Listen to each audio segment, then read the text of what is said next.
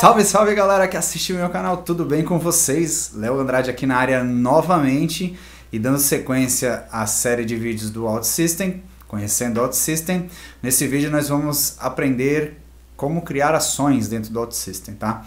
Então vamos entender um pouco mais o conceito das ações e com as ações a gente vai conseguir avançar bastante no nosso desenvolvimento e conseguir dar os próximos passos aí e cada vez mais aprender mais essa plataforma que é muito bacana, beleza galera? Assista o vídeo até o final, não deixe de curtir o vídeo, não deixe de se inscrever no canal e é isso, beleza? Vamos ver como fazer, como criar ações na plataforma, vamos lá?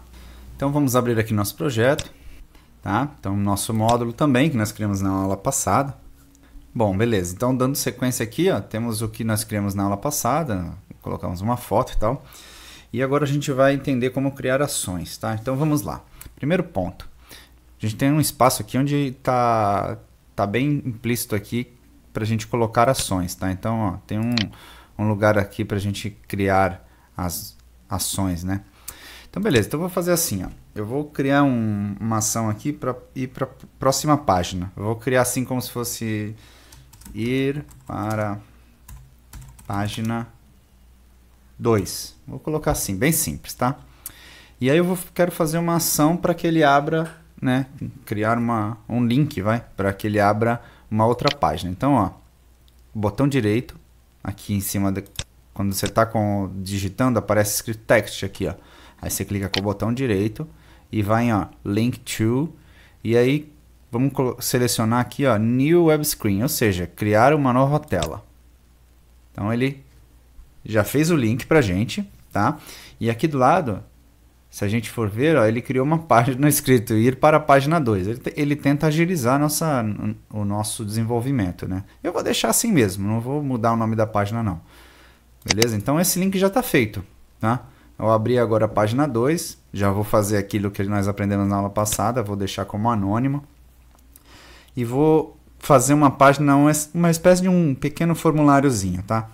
Então aqui, ó, vou colocar um título, tá? Título meu formulário, tá? E aqui eu vou colocar algumas coisas na tela. Vou colocar um input, então aqui, ó, tem um input aqui, tá? Vou colocar um botão também. Tá? Então tem um input, tem um botão. Deixa eu pular uma pular umas linhas aqui para não ficar tão, né, tão próximo. Vou colocar um, um textinho aqui em cima. Digite o título aqui, tá? O que eu vou fazer aqui?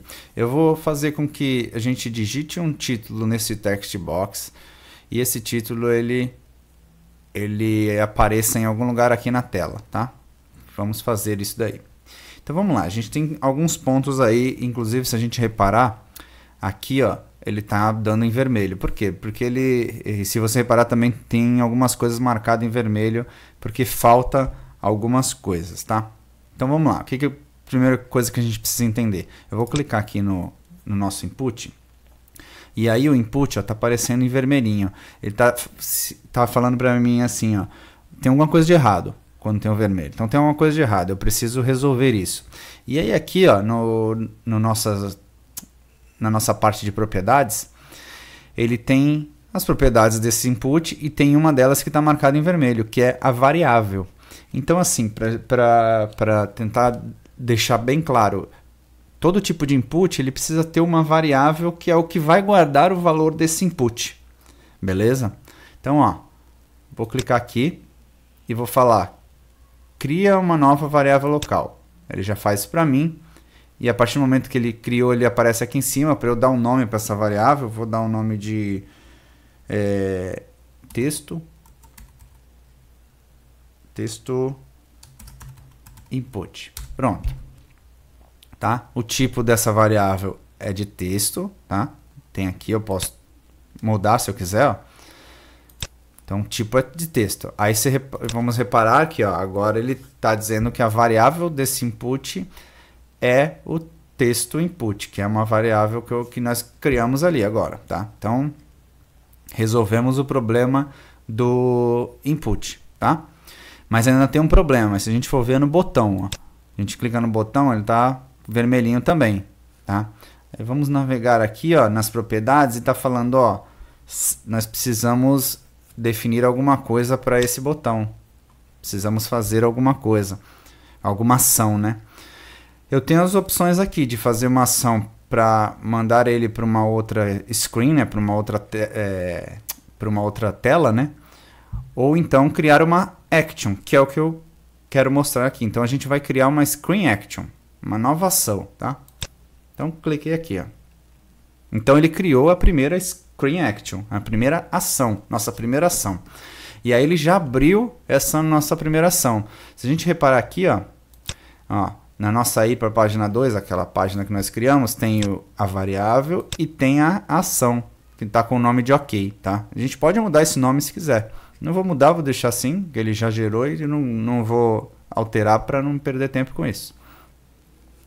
E aí a ação, a ação é que está aberta aqui no momento. Então ele tem algumas coisas aqui, ó.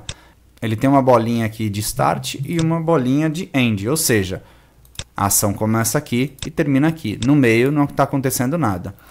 Aqui do lado é caso durante ele, é, a tentativa de, dessa ação aqui de erro, ele vai fazer isso daqui. Ele vai tratar o erro e vai mostrar uma mensagem na tela. Tá bom? Beleza, o que, que a gente quer fazer? A gente quer fazer que aquele, aquele texto apareça em um, na tela, né? Em alguma, de alguma forma na tela. Tá bom. Então vamos voltar para a tela aqui antes de mais nada, tá?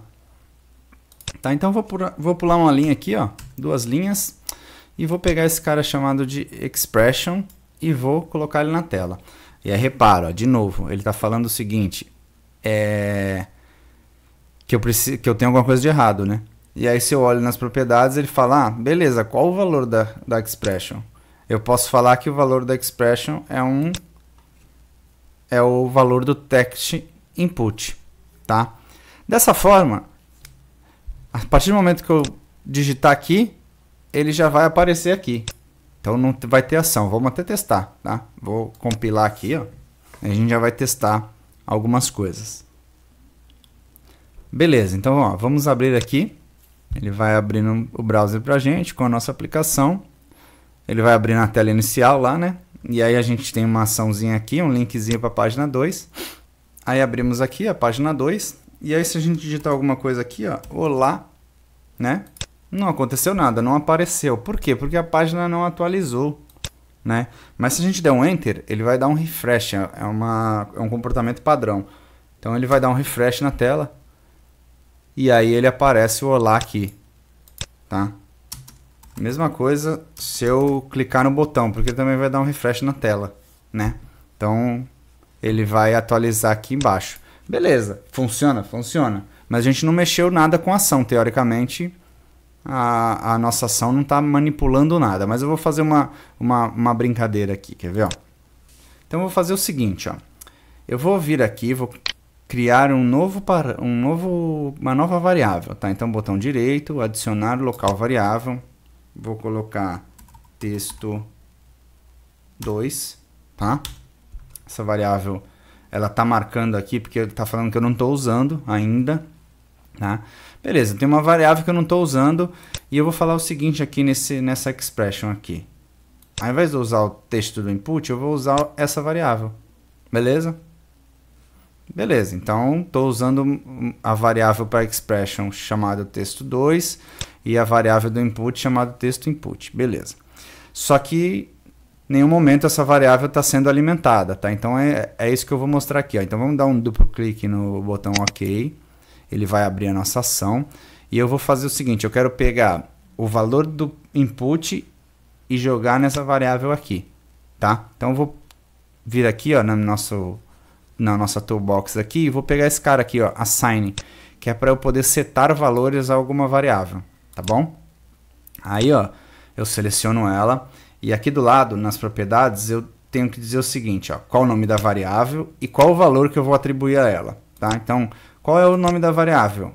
Eu quero colocar valor na variável chamada texto2. Beleza, e qual o valor que você quer atribuir a ela? Eu quero atribuir o valor do texto input. Tá? E aí, beleza.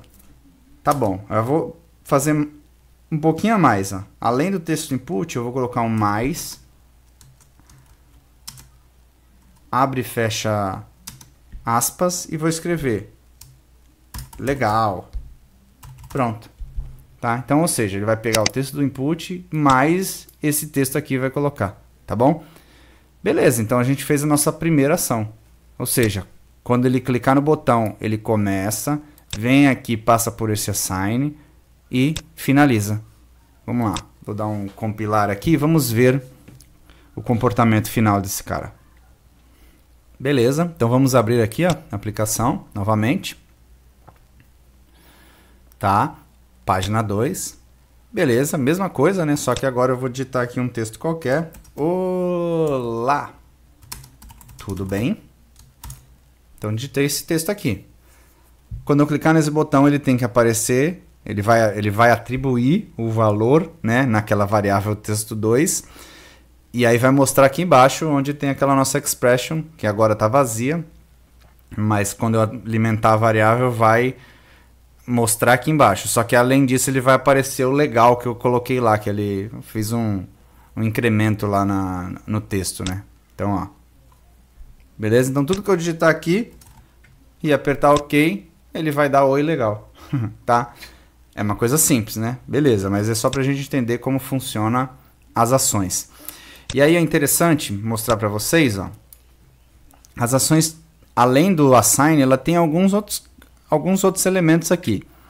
Os dois aqui que eu vou falar agora são o if então eu posso tomar uma decisão, por exemplo, é, se eu digitar, eu vou colocar uma condição aqui, tá?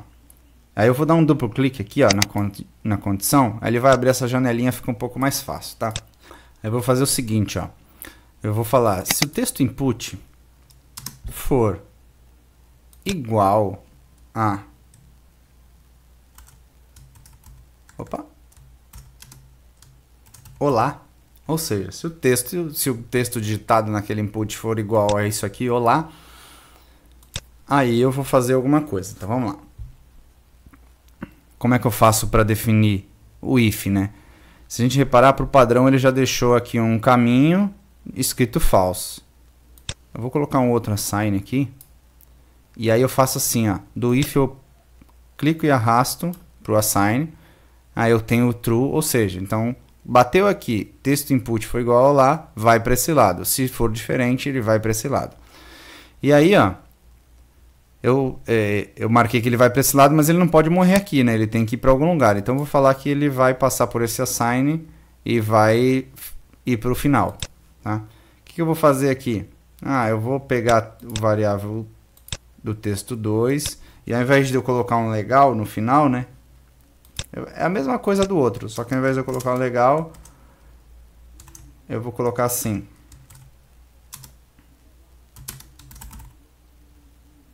Peraí, vírgula, tudo bem?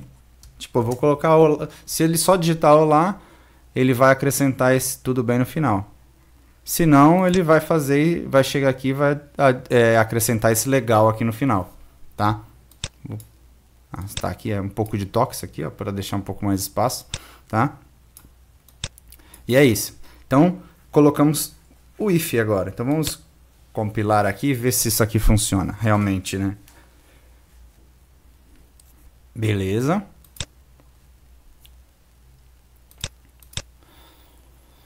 Então, carregamos aqui a nossa aplicação de novo. Vou vir para o botão e para a página 2 e vou digitar aqui um texto. Hello. Ok. Beleza, então ele caiu no false lá, né? Porque hello não é olá, né? Ele pega a palavra idêntico, tá? Mas agora eu vou digitar olá. Só olá. Dá um ok. Olá. Olá, vírgula, tudo bem, ele acrescentou. Ou seja, ele caiu na condição verdadeiro lá. Se eu mudar qualquer coisa aqui, se eu tirar o acento, ele já não vai cair mais naquela condição verdadeira lá. Vai cair na condição falsa. Então, Simples. Nós trabalhamos agora com if. E também tem o switch, né? Switch é para vários casos, né? Então, por exemplo, vou colocar um switch aqui, bem simples. Tá? E aí o switch ele funciona da seguinte maneira, ó. Você quantas condições você tiver, é só você ir arrastando. Vamos supor que eu tenha vários assigns aqui, ó. Só tô exemplificando aqui, tá? Então, ó, eu arrasto, né, dele e vou criando quantos, quantas condições quiser, né? Para eu definir qual é o, a condição de cada um é simples, ó. Eu tô arrastando todo mundo pro final, né? Porque precisa, né? Senão ele vai resmungar ali falando, ó, você não pode morrer no nada assim. Aí eu preciso definir as condições. Agora eu clico no switch, aparece aqui, ó, condição 1, condição 2, condição 3. Aí eu vou lá e defino condições. Ah, se for true, se for false, mas assim, essa condição aqui não nunca vai cair aqui, porque tipo, eu preciso pôr uma condição válida. Teria, teria que ser algo do tipo, ah, se o texto input for igual a XPTO e assim por diante, tá? Então eu defino condições para cada para cada nozinho desse aqui, para cada perninha dessa daqui, e aí eu defino o switch. É assim que funciona o switch, tá? Vou remover aqui, que é só para exemplificar, e vou deixar o nosso aplicação a princípio desta maneira, tá? Beleza, tem uma outra coisa bem legal com ações, tá? Que é aqui, ó. Tem a, uma ação que é chamada preparation, que é o que? É uma ação que é, ela é acionada no momento em que a tela está abrindo, tá? Então, ó, eu tenho uma tela aqui, ir para a página 2, tá? Eu vou clicar com o botão direito e aqui tem ó, adicionar preparation. Tá vendo que tem até um símbolozinho de um playzinho aqui? É meio para exemplificar que ela vai ser executada. Tá? Então eu vou criá-la aqui. Ó. Ela vem com outro símbolo. Essa, essa preparation ela sempre vai ser executada quando essa tela for abrir. Tá? Então vamos, vamos até testar, né? Porque assim, quando a nossa tela abre, o nosso input, por exemplo, ele vem sem valor. O input que nós criamos lá, né? E eu vou fazer o seguinte, eu vou vir aqui no vou colocar um assign aqui e vou falar o seguinte, ó a variável texto, text input vai receber um olá. Ou seja, ele vai é, iniciar a nossa página, vai atribuir um valor para essa variável texto input, tá? Esse valor vai ser olá. E como essa variável texto input é usada pelo nosso input, ele vai começar, ele vai a partir de agora, quando ele abrir essa tela, ele vai vir escrito lá nesse, nesse carinha aqui, nesse input aqui, beleza? Então, vamos executar e vamos testar. Que eu só acredito vendo, né? Beleza? Vamos abrir a nossa página aqui, fechar essa outra. Beleza. Vou clicar aqui para ir para a página 2 e ele já executou o preparation. Tá vendo? Ele veio escrito lá agora. Simples, né? Então, recapitulando, o preparation é uma ação que é executada toda vez que a página é aberta. E as screen actions que nós criamos aqui no caso do botão, elas são acionadas a partir de alguma, de alguma coisa que faça é, acionar ela. Né? Então, no caso, nesse caso dessa screen action, é, o botão é que chama ela. É um método, né? Isso é, uma, é um evento, vamos dizer assim. E aí, galera, gostaram? Muito bom, né? As ações elas vão nos ajudar a partir de agora, porque a gente vai usar muito ações para manipular coisas da tela. Então, esse é o primeiro passo para a gente avançar cada vez mais dentro do OutSystem, beleza? É, obrigado por assistir o vídeo até aqui. Não deixe de curtir o vídeo aqui embaixo, de inscrever-se no canal, apertar o sininho, compartilhar com seus amiguinhos. É isso. Mais uma vez, muito obrigado. Fiquem com Deus e até o próximo vídeo. Valeu!